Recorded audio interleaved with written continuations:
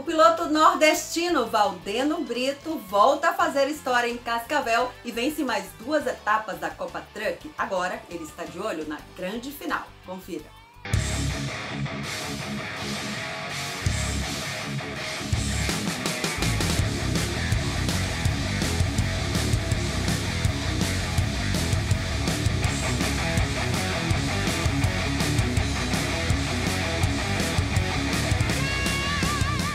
Valdeno Brito tem uma história especial com Cascavel. Foi na pista do Oeste Paranaense que ele teve duas vitórias e um de seus melhores desempenhos na fase moderna da Stock Car. Agora, sua história continua com a conquista das suas duas primeiras vitórias na Copa Truck, somando o máximo de pontos possíveis e dando um largo passo rumo à grande final.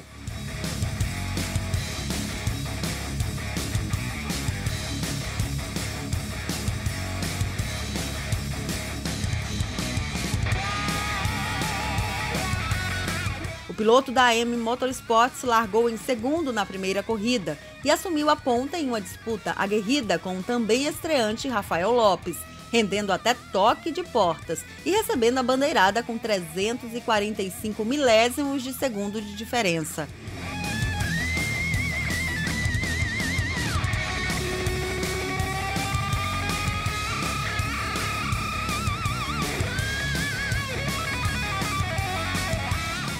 A segunda corrida foi ainda mais impressionante, pois largando em oitavo por conta do grid invertido, ele teve de escalar o pelotão no braço, algo complicado na Copa Truck pela largura dos caminhões e a vontade dos rivais em defender a posição.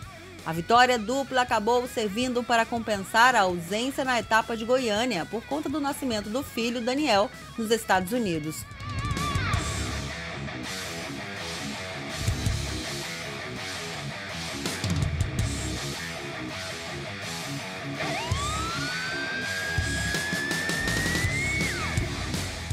Forte calor que fez na hora da corrida, em torno dos 39 graus, provocou uma rara ausência dupla de Beto Monteiro entre os 3, 5, 10 e 15 melhores pilotos no resultado final das corridas em um bom tempo.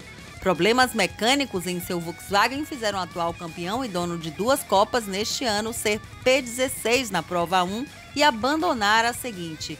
Roberval Andrade também ficou a pé na segunda corrida, mas beliscou um P3 na corrida 1.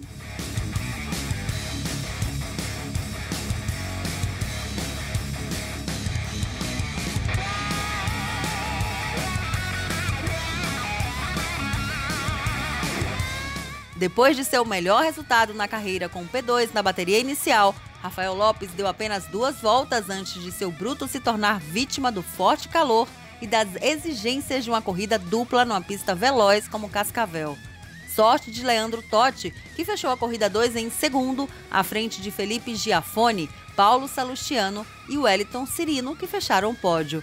A prova também foi um grande exemplo de resistência de Pedro Mufato, que aos 80 anos só não fez as duas corridas pois seu caminhão não permitiu.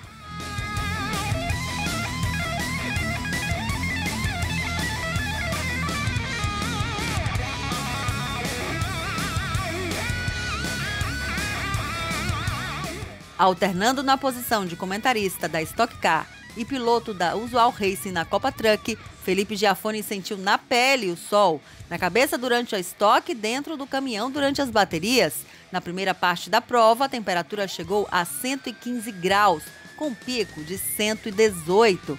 Com a pontuação máxima obtida neste final de semana, 40 pontos, Valdeno Brito vai para a próxima etapa com 11 pontos de vantagem para Giafone. 13 para Cirino, 19 para Débora Rodrigues e André Marques e 20 à frente de Danilo Dirani e Paulo Salustiano. Com 40 pontos em jogo, ele se garante na final matematicamente se ficar entre os três melhores em uma das corridas que formarão a sexta etapa.